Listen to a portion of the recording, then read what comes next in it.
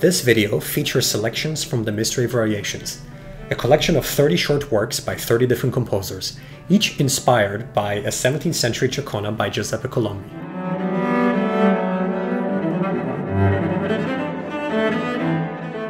The collection was written in 2010 to celebrate the 50th birthday of Finnish cellist Anssi Karttunen.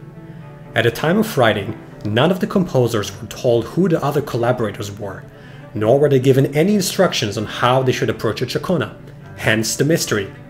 The result is an incredible variety of styles, techniques, and imaginations, and a true treasure for cellists. I have chosen three variations which are profoundly different from each other.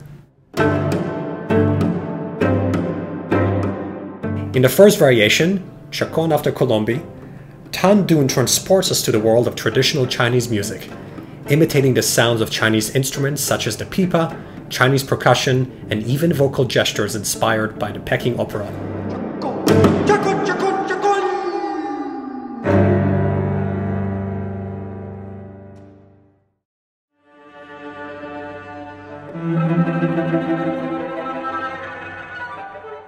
Next is Kaija Saariaho's Dreaming Chaconne.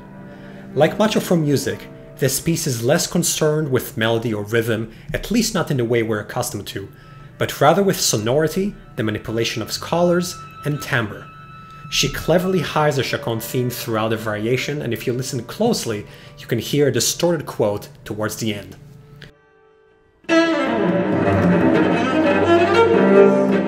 Finally, to cap things off, Kimmo Hakola's Colombi variation is pure insanity, a hyperactive, relentless fantasy which pushes the boundaries of what's possible on the cello while still maintaining a humorous and entertaining approach. Thank you so much for watching and hope you enjoyed the music.